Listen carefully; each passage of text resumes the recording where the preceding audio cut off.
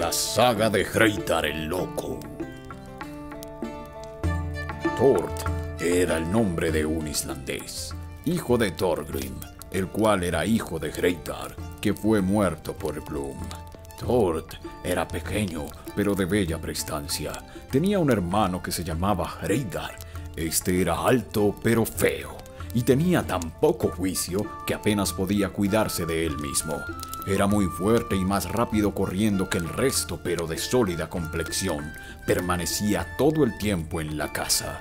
Su hermano Thord, por el contrario, hacía con frecuencia largos viajes. Pertenecía al Hir del rey Magnus y gozaba mucho de la estima de este. Un verano, mientras Thord estaba a punto de equipar su navío en Gazar, en el fiordo de Eija, su hermano Hreidar vino a buscarle. Cuando Thord le vio, le preguntó qué venía a hacer. No habría venido si no tuviese algo urgente que decirte, respondió Hreidar. ¿Qué quieres? preguntó Thor. Quiero seguirte al extranjero, respondió Hreidar. No creo que este viaje te convenga, dijo Thor. Prefiero ayudarte dejándote la herencia de nuestro padre que vale dos veces lo que ganaré en el curso de mi viaje. Si aceptase tal proposición me hallaría falto de tu ayuda y no tendría mucho sentido común, dijo Hreitar. Cualquiera podría robarme, con astucia, nuestra herencia, pues apenas sabría cuidarme de ello. Pero no es seguro que me resigne a ver cómo las gentes me acechan para intentar apoderarse, bien por estratagema o por la violencia de lo que me pertenece. Y apenas sería mejor para ti estar mezclado en el asunto si llegase yo a atacar a alguien o a cometer alguna otra imprudencia, y si yo fuese después derrotado y mutilado a causa de lo que habría hecho. Además, no te sería fácil obligarme si quiero ir contigo. Tienes razón, dijo Thor, pero si consiento, no quiero que vayas a contar a todos que partirás conmigo. Reidar le prometió no decir palabra, pero cuando Thor se dio la vuelta, contó a todos los que querían escucharle que iba a marchar al extranjero con su hermano, y fueron muchos los que censuraron a Thor por llevar con él a tal loco. Cuando estuvieron preparados, se hicieron a la mar y después de un feliz viaje llegaron a Thornheim. Esto sucedía en otoño, cuando los reyes Magnus y Harald habían regresado de Dinamarca. Una mañana que los reyes se hallaban en la ciudad, Reidar se levantó antes que los demás. Despiértate, hermano mío, dijo. Quien duerme aprende poca cosa, y voy a darte una noticia. Ahora mismo he escuchado un ruido extraño. ¿Qué clase de ruido? preguntó Thor. Se diría que es algo vivo, dijo Hreidar. Un grito agudo, pero no sé lo que era. No te asombres, dijo Thor. Sin duda has oído sonar el cuerno. ¿Por qué lo tocaban? preguntó Hreidar. A menudo se llama a las gentes al Ting, o bien se da la señal de colocar los navíos en la orilla, dijo Thor. ¿El Ting? ¿Qué es eso? preguntó Hreidar. Se juzgan en el Ting los casos difíciles, respondió Thor, y se hace saber allí lo que el rey quiere comunicar al pueblo. ¿El rey está presente en el Ting? preguntó Hreidar. Eso creo, dijo Thor. Entonces es preciso que yo vaya allí, dijo Hreidar. Quiero ir a un sitio donde pueda haber mucha gente. No soy de tu opinión, dijo Thor. Creo que cuanto menos se acude a los lugares donde hay mucha gente, mejor es. Por eso yo mismo no voy a lugar alguno. Es inútil hablarme así, dijo Hreidar. Ambos iremos al Ting. De nada te servirá que vaya yo solo. Además, tú mismo tienes razones para ir a ver al rey, que es tu amigo y a quien no has visto desde que ha llegado. No me impedirás ir allí. Dicho esto, Hreidar se fue. Thor comprendió entonces que estaba obligado también él a ir al Ting, pero fue despacio mientras que Hreidar corría delante de él y pronto le sacó distancia. Cuando Hreidar se dio cuenta de que Thor se rezagaba, le gritó: Sé bien que no es fácil ser pequeño. Quien es pequeño debería igualmente ser rápido, pero tú pareces tan lento como débil. Más te hubiese valido ser menos bello y más rápido y fuerte. Así podría seguir a las demás personas. No sé si mi debilidad me perjudica más de lo que a ti la fuerza, dijo Thor. Adelanta pues un dedo y se verá quién es el más fuerte, hermano mío, dijo Hreidar. Thor lo hizo, pero pronto su mano se entumeció y tuvo que soltar su presa. Hreidar siguió corriendo y subió a una colina desde donde veía una gran muchedumbre. Se detuvo y se puso a contemplar la asamblea. Thor le alcanzó. Ven conmigo y camina como se debe para que lleguemos juntos, dijo, y Hreidar obedeció. Cuando llegaron al Ting, encontraron a muchas gentes que conocían a Thor y le saludaron amistosamente. Fue inmediatamente ante el rey, pues no se había presentado a él desde que había llegado a Thornheim. Saludó respetuosamente al rey Magnus, y éste acogió su saludo con benevolencia. Los dos hermanos se habían separado al llegar al Ting. Los hombres del rey vieron que Reidar era un hombre extraordinariamente alto, pero apenas resultaba un compañero conveniente. Le tiraron de los faldones de su ropa y le empujaron en todas direcciones. Él hablaba y reía mientras le maltrataban, lo que no disminuyó su placer. Pronto le fue difícil defenderse.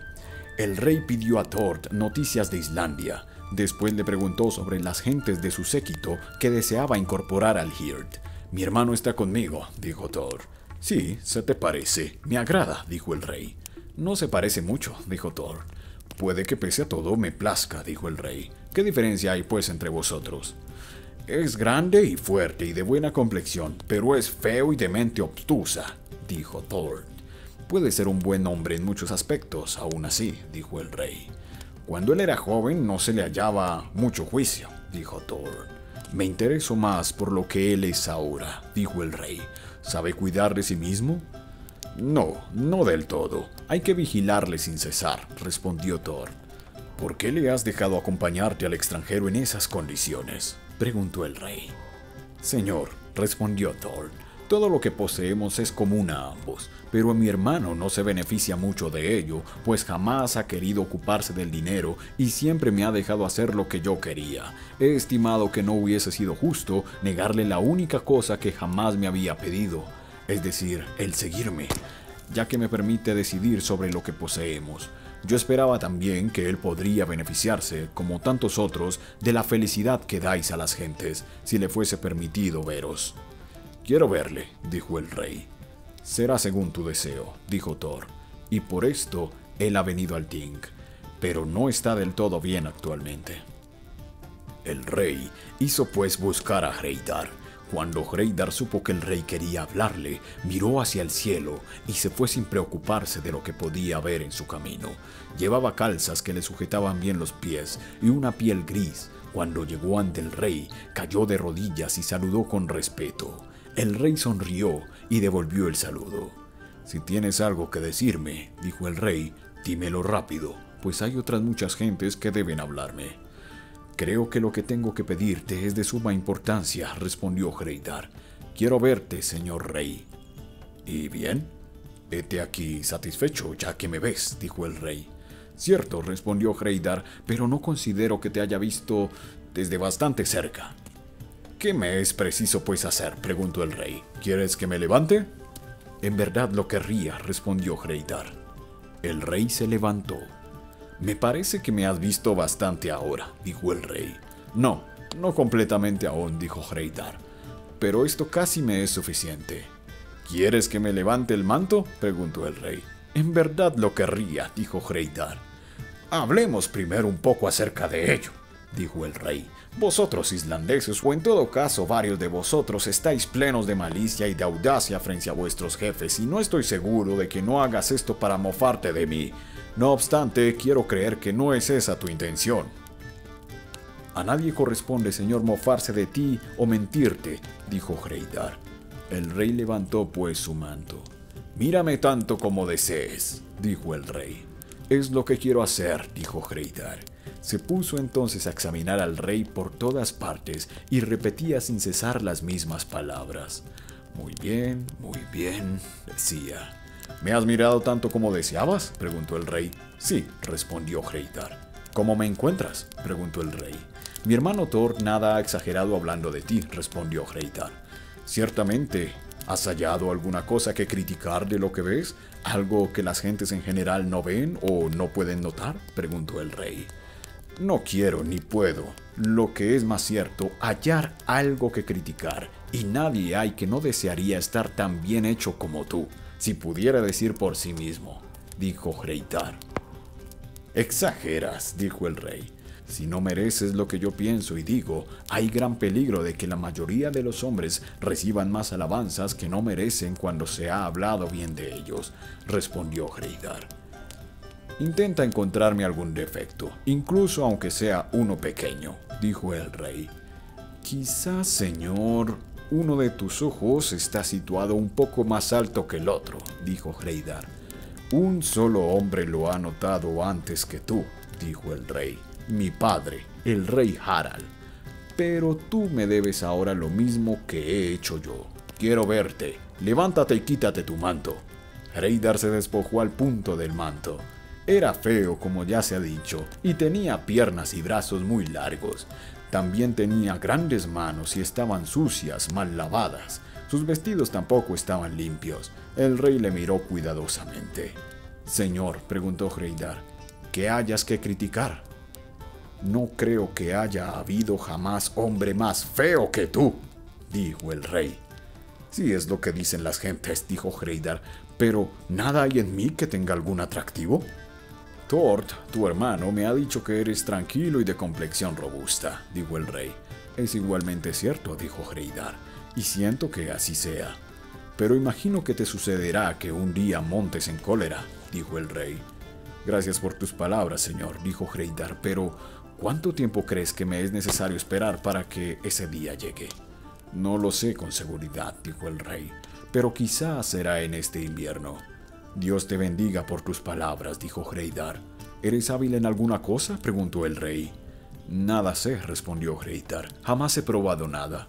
Me parece inverosímil que no seas hábil en algo, dijo el rey. Dios te bendiga por tus palabras, dijo Hreidar, pero sin duda es como dices. En este caso creo que me sería preciso quedarme en vuestra casa este invierno. Tu hermano Thor podrá quedarse en mi casa con un hombre o dos si quiere, dijo el rey, pero creo que te conviene mejor permanecer allí donde no haya demasiada gente. Es quizá cierto desde un cierto punto de vista, dijo Hreidar, pero jamás hay tan poca gente que lo que se diga no sea relatado en todas partes, sobre todo si hay ocasión de reír por ello. Ahora bien, no soy de los que se miden en sus palabras, hablo mucho.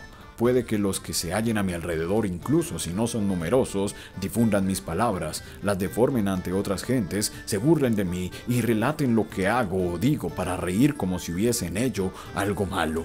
Es por lo que me parece que no es imprudente querer quedarse en casa de quien me cuida de mí, como mi hermano Thort, incluso si hay mucho mundo, más que estar allí donde hay poca gente, pero donde nadie me dará consejo. Haz lo que desees, dijo el rey. Venid tu hermano y tú a mi Hirt si lo preferís. Cuando Hreidar escuchó las palabras del rey, fue enseguida a contar a los que querían escucharle cuán afortunado había sido su viaje para ver al rey, y dijo a su hermano Thor que el rey había permitido quedarse en el Hir durante el invierno. Entonces te proporcionaré, como es debido, armas y vestiduras, dijo Thor, pues tenemos con qué hacerlas y quienes se sientan a la mesa del rey deben estar bien vestidos. Es muy importante para ellos si no quieren que los hombres del Hir les hagan burla. Si crees que vas a vestirme con ropas valiosas, te engañas, respondió Hreidar. Y bien, te haremos confeccionar un ropaje muy sencillo, pero con una bella tela de paño, dijo Thor. Prefiero eso, continuó Hreidar. Se procuró, pues, como le aconsejaba Thor, una tela de paño, y se hizo confeccionar una vestidura, y tuvo al momento otro aspecto. Seguía siendo feo, pero al menos tenía una apariencia viril. En la primera época de la estancia de los dos hermanos en el Hird, las gentes del rey consideraron, sin embargo, que Hreidar se comportaba como un imbécil y a menudo fue objeto de bromas y de malos tratos por su parte.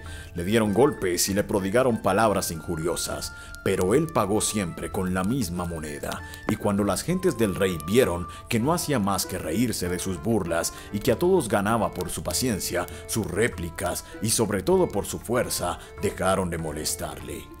Poco después de la llegada de ambos hermanos al Hir del rey Magnus, sucedió que uno de los hombres del rey Magnus mató a uno de los hombres del rey Harald y que a causa de este hecho los dos reyes se malquistaron, pero se decidió organizar una reunión de reconciliación. Cuando Hreidar supo que el rey Magnus iba a ver de nuevo al rey Harald, fue enseguida ante Magnus. Hay cosas que quisiera pedirte, señor, dijo él. ¿Cuál es? preguntó el rey.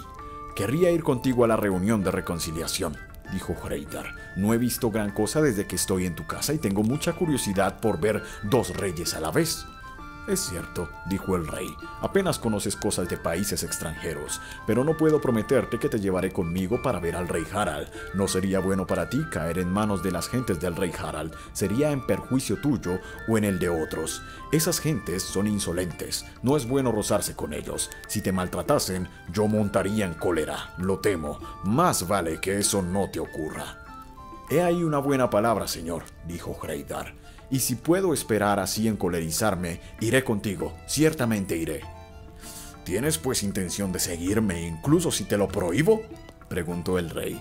Iré contigo, dijo Hreidar. ¿Crees que se me puede manejar como a tu hermano Tort? preguntó el rey. Con él obras siempre a tu antojo.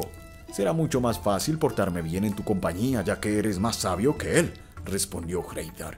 El rey creyó comprender que de nada serviría disuadir a Hreidar y se dijo que podría muy bien ocurrir que se sumase a otros si le prohibía partir con él mismo. Le pareció que sería entonces más difícil ayudarle si lo necesitaba, por ello le permitió seguirle. Reidar se alegró mucho por esto y se le dio un caballo, pero como él pesaba mucho y estaba poco habituado a cabalgar, no halló nada mejor que hacer que correr él mismo delante de su montura, y corrió tan rápido que el caballo se encontró agotado apenas a mitad de camino. Cuando el rey se dio cuenta de ello, dijo, Esto ya es demasiado, volved a la ciudad con Reidar y que se quede allí. ¿Qué importa que el caballo esté fatigado? dijo Hreitar. ¿Y de qué me serviría mi rapidez si no pudiese seguiros? Entonces, para demostrar esta rapidez de la que tanto se enorgullecía, los hombres que le persiguieron en sus caballos acabaron por agotar a sus monturas y los hombres mismos tuvieron que echar pie a tierra. Así llegaron todos enseguida al lugar del encuentro de los reyes, y Magnus dijo a Hreitar, no abandones mi séquito y permanece siempre a mi lado, pues nada bueno espero si caes en manos de los hombres del rey Harald. Reidar prometió hacer lo que el rey le aconsejaba. Cuanto más cerca esté de ti, mejor será. En efecto, decía él, los reyes se encontraron pues y se ocuparon de sus asuntos. Los hombres del rey Harald, que ya habían oído hablar de Hreidar y de su escaso sentido común, se alegraron mucho cuando vieron que estaba allí. En cuanto los reyes iniciaron su debate, Hreidar se metió en un grupo de los hombres del rey Harald. Estos le arrastraron a un bosque muy cercano y sin tardanza se pusieron a dar tirones a sus ropas y a zarandearle, y tan pronto Hreidar volaba entre sus manos igual que un montón de heno, como por el contrario se quedaba quieto tan firme como un muro con que los hombres se estrellaban. Al final, todos le golpearon duramente con los mangos de sus hachas y con las vainas de sus espadas. Los clavos de las vainas hirieron a Hreidar en la cabeza, pero él no hacía más que reír y parecía encontrar divertido todo esto. Sin embargo, cuando el juego se volvió demasiado rudo, gritó. ¿No nos hemos divertido ya suficiente? Es tiempo de que este juego termine. Comienzo a hartarme. Vamos a ver a vuestro rey. Tengo ganas de verle. ¿Ver a nuestro rey? dijeron los otros. Ciertamente no permitiremos que un diablo como tú vea a nuestro rey, más bien te enviaremos a reunirte con todos los diablos en el infierno. Reidar comenzaba a sentir que todo esto no le gustaba ya apenas. Comprendió también que los hombres eran realmente capaces de hacer lo que decían y sintió que había llegado el día de su cólera. Agarró entonces al hombre que le atacaba con total encarnizamiento y le lanzó por el aire. Después le aplastó la cabeza contra el suelo con tal violencia que el cerebro saltó por todas partes. El hombre murió en el acto. Un gran miedo se apoderó de todos los demás. A cada uno le parecía que en Hreitar había fuerzas sobrehumanas y huyeron y se reunieron con el rey Harald. Relataron a este que uno de los hombres de su herd había sido muerto. Matad a quien le ha matado, dijo el rey. Ha huido. Ya no está en nuestras manos, dijeron ellos. En cuanto Hreidar, justo después de haber dejado a los hombres del Hird del rey Harald, había ido junto al rey Magnus y le había relatado lo ocurrido. ¿Sabes ya qué es montar en cólera? preguntó el rey. Sí, lo sé, respondió Hreidar. ¿Ha sido tan grande tu placer como tu curiosidad? preguntó el rey. Apenas me ha gustado, respondió Hreidar. Lo único que deseaba era matarlos a todos. He aquí porque yo temía por ti, dijo el rey. Preveía que realmente tú te enojases en demasía, y me parece que las cosas han ido tan lejos que ya no estoy seguro de poder protegerte si te quedas en el Gir cuando el rey Harald y yo nos encontremos de nuevo, pues mi pariente Harald es astuto y no es fácil con él estar sobre aviso. Lo mejor es que te dé compañeros y que te envíe a Oplaten, junto a uno de mis vasallos que se llama Eipin. Él te protegerá contra el rey Harald. Vuelve cuando yo te llame. Hreidar partió pues y fue a casa de Eipin, y éste le acogió después de haber leído el mensaje del rey Magnus. En cuanto a los dos reyes, se pusieron de acuerdo respecto al primer asesinato y el asunto fue arreglado rápidamente, pero no fue lo mismo a propósito de Hreidar. El rey Harald pidió indemnizaciones porque un hombre de su hirt había muerto, pero el rey Magnus repuso que los hombres de Harald eran los culpables de todo lo que había ocurrido y no había lugar a pagar una indemnización a causa de un hombre muerto por Hreidar, pues todos los que se habían ensañado con él habían perdido todo derecho a indemnizaciones, aun cuando Hreidar les hubiera matado a todos. El rey Magnus rehusó pues a pagar y los reyes se separaron. Pero el rey Harald supo enseguida dónde había ido Hreidar y se puso en camino. Llegó acompañado de 60 hombres a Opladen, a casa de Eibin. Era por la mañana temprano, pues Harald se había propuesto llegar de improviso. Sin embargo, no logró sorprender a Eibin, pues éste sospechaba verdaderamente que el rey Harald buscaría a Hreidar y había permanecido en continua alerta. Por lo demás, pronto fue informado que el rey se había dirigido hacia el sur y había reunido hombres en el bosque cerca de su casa que se mantenía en estado de alerta. Se narra que un día, poco tiempo antes de la llegada del rey Harald, Hreidar había pedido a Eivin un poco de dinero y un poco de oro. Eivin había preguntado si entendía algo de orfebrería. El rey Magnus me creía muy experto, respondió Hreidar, mas todo lo que sé es que jamás he ensayado nada, pero creo que es como él dice, ciertamente él debe saberlo. Eres un hombre extraño, dijo Eipin, pero te daré ese dinero que pides. Si fracasas, devolverás el dinero. Si triunfas, te lo guardarás. Se encerró entonces a Hreidar en una casa donde trabajaría, pero antes de que hubiese terminado lo que había comenzado, llegó el rey Harald, como se ha dicho. Eyvind dio la bienvenida al rey y le preparó un gran festín. Cuando todos se sentaron a la mesa al beber, el rey preguntó a Eyvind, por casualidad, hay aquí un hombre llamado Hreidar. Te daré mi amistad si me lo entregas de buen grado. Ese hombre no está aquí actualmente, respondió Eivin. Ya veo que no está en la sala, dijo el rey, pero sé que permanece en una de tus casas y en poder tuyo. No vale la pena negarlo. ¿Por qué lo negaría yo? respondió Eivin. No tengo por ti una estima superior a la que siento por el rey Magnus, y que me permita entregarte, para matarle, un hombre que ese rey me ha ordenado proteger y ayudar.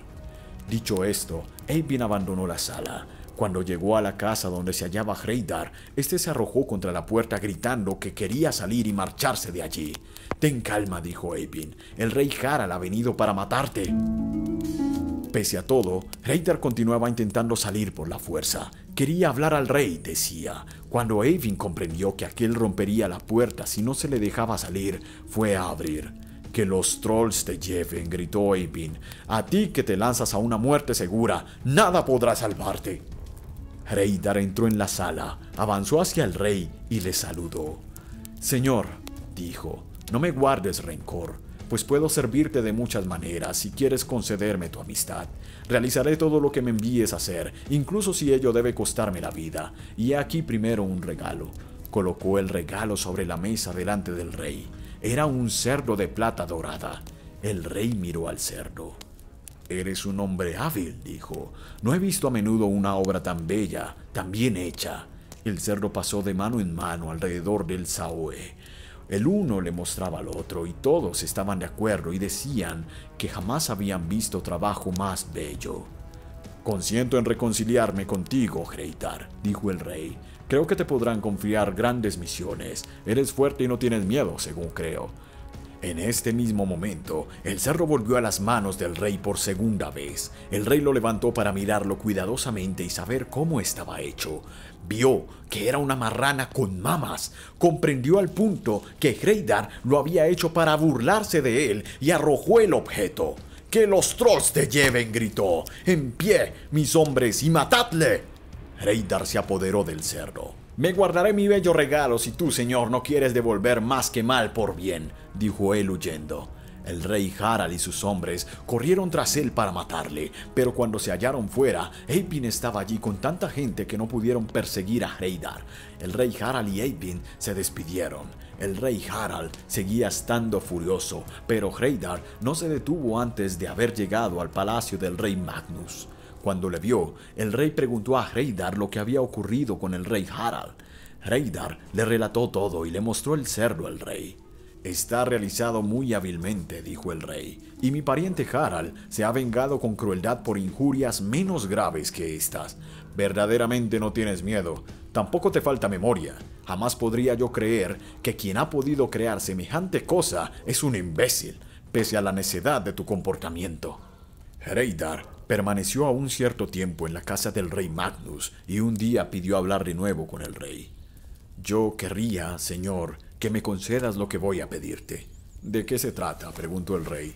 Te pido escuchar, señor, un poema que he compuesto en tu honor, dijo Hreidar. Consiento en ello, dijo el rey. Hreidar recitó su poema. Era una poesía un poco fuerte y al principio bastante extraña, pero al avanzar la lectura, el poema iba mejorando. Cuando Hreidar hubo terminado de leer, el rey dijo, Tu poema parece raro, pero antes de terminar se descubre que es un buen poema, y sin duda igual sucede con tu vida. Al principio parece rara y diferente de las demás, pero cambia y mejora a medida que el tiempo pasa. Por tanto, escogeré una recompensa para ti por tu excelente poema. En las costas de Noruega hay una pequeña isla que te entregaré. No es grande, pero la hierba crece bien allí y la tierra es buena. He ahí un generoso regalo tal como se podía esperar por tu parte. Gracias a mi isla, enlazaré Noruega a Islandia, dijo. Ignoro lo que ocurrirá con ella, pero lo que sé es que muchas gentes querrán comprártela o cambiártela por otra, dijo el rey. Quizá es preferible que yo mismo te la vuelva a comprar desde ahora, a fin de que no estés expuesto a los ataques de los que querrían quitártela. Y esto lo haré, sobre todo porque no es prudente que permanezcas en este país a causa del rey Harald. Es fácil prever lo que te sucedería si permanecieses aquí y si él lograse su propósito. El rey Magnus dio pues dinero a Hreidar en vez de la isla, y siguiendo el consejo del rey, Hreidar partió para Islandia. Hreidar vivió después en el valle de Svalbard, en un lugar que se llama Hreidastad. En su vida ocurrió como le había predicho el rey Magnus. Cuanto más vivió, más llegó a ser un hombre hábil. Las rarezas que se le veía hacer cuando parecía medio loco no habían sido más que falsos modales. Vivió en Hreidastar hasta su vejez y de él surgió una gran familia. Y así termina la saga de Hreidar.